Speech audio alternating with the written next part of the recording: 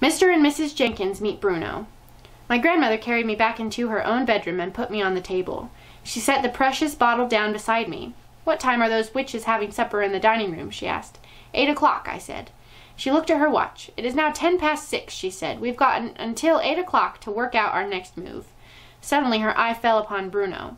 He was still in the banana bowl on the table. He had eaten three bananas and was now attacking a fourth. He had become immensely fat. That's quite enough, my grandmother said, lifting him out of the bowl and putting him on the tabletop. I think it's time we return this little fellow to the bosom of his family. Don't you agree, Bruno? Bruno scowled at her. I had never seen a mouse scowl before, but he managed it. My parents let me eat as much as I want, he said. I'd rather be with them than with you. Of course you would, my grandmother said. Do you know where your parents might be at this moment? They were in the lounge not long ago, I said. I saw them sitting there as we dashed through on our way up here. Right, my grandmother said. Let's go and see if they are still there. Do you want to come along? she added, looking at me. Yes, please, I said. I shall put you both in my handbag, she said. Keep quiet and stay out of sight. If you must peep out now and again, don't show more than your nose. Her handbag was a large, bulgy, black leather affair with a tortoiseshell clasp. She picked up Bruno and me and popped us into it. I shall leave the clasp undone, she said, but be sure to keep out of sight. I had no intention of keeping out of sight. I wanted to see everything. I seated myself in a little side pocket inside the bag near the clasp, and from there I was able to poke my head out whenever I wanted to. Hey, Bruno called out, give me the rest of that banana I was eating. Oh, all right, my grandmother said. Anything to keep you quiet. She dropped the half-eaten banana into the bag, then slung the bag over her arm and marched out of the room and went thumping along the corridor with her walking stick. We went down in the lift to the ground floor and made our way through the through the reading room to the lounge. And there, sure enough, sat Mr. and Mrs. Jenkins in a couple of armchairs with a low, round, glass-covered table between them. There were several other groups in there as well, but the Jenkinses were the only couple sitting alone. Mr. Jenkins was reading a newspaper. Mrs. Jenkins was knitting something large and mustard colored. Only my nose and eyes were above the clasp of my grandmother's handbag, but I had a super view. I could see everything. My grandmother, dressed in black lace, went thumping across the floor of the lounge and halted in front of the Jenkinses' table. Are you Mr. and Mrs. Jenkins? she asked. Mr. Jenkins looked at her over the top of his newspaper and frowned. Yes, he said, I am Mr. Jenkins. What can I do for you, madam? I'm afraid I have some rather alarming news for you, she said. It's about your son Bruno. What about Bruno? Mr. Jenkins said. Mrs. Jenkins looked up but went on knitting. What's the little blighter been up to now? Mr. Jenkins asked. Raiding the kitchen, I suppose. It's a bit worse than that, my grandmother said. Do you think we might go somewhere more private while I tell you about it? Private? Mr. Jenkins said. Why do we have to be private? This is not an easy thing for me to explain, my grandmother said. I'd much rather we all went up to your room and sat down before I tell you any more. Mr. Jenkins lowered his paper, Mrs. Jenkins stopped knitting.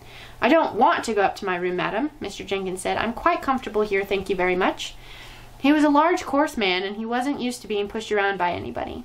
Kindly state your business and then leave us alone, he added. He spoke as though he was addressing someone who was trying to sell him a vacuum cleaner at the back door. My poor grandmother, who had been doing her best to be as kind to them as possible, now began to bristle a bit. We really can't talk in here, she said. There are too many people. This is a rather delicate and personal matter. I'll talk where I dashed well want to, madam, Mr. Jenkins said. Come on now, out with it. If Bruno has broken a window or smashed your spectacles, then I'll pay for the damage, but I'm not budging out of, his, out of this seat. One or two other groups in the room were beginning to stare at us now. Where is Bruno anyway? Mr. Jenkins said. Tell him to come here and see me. He's here already, my grandmother said. He's in my handbag. She patted the big floppy leather bag with her walking stick. What the heck do you mean he's in your handbag? Mr. Jenkins shouted. Are you trying to be funny? Mrs. Jenkins said, very prim. There's nothing funny about this, my grandmother said. Your son has suffered a rather unfortunate mishap. He's always suffering mishaps, Mr. Jenkins said. He suffers from overeating and then suffers from wind. You should hear him after supper. He sounds like a brass band. But a good dose of castor oil soon puts him right again. Where is the little beggar? I've already told you, my grandmother said. He's in my handbag. But I do think it might be better if we went somewhere private before you meet him in this in his present state. This woman's mad, Mrs. Jenkins said. Tell her to go away. The plain fact is, Miss, my grandmother said, that your son Bruno has been rather drastically altered. Altered? shouted Mr. Jenkins. What the devil do you mean, altered? Go away, Mrs. Jenkins said. You're a silly old woman.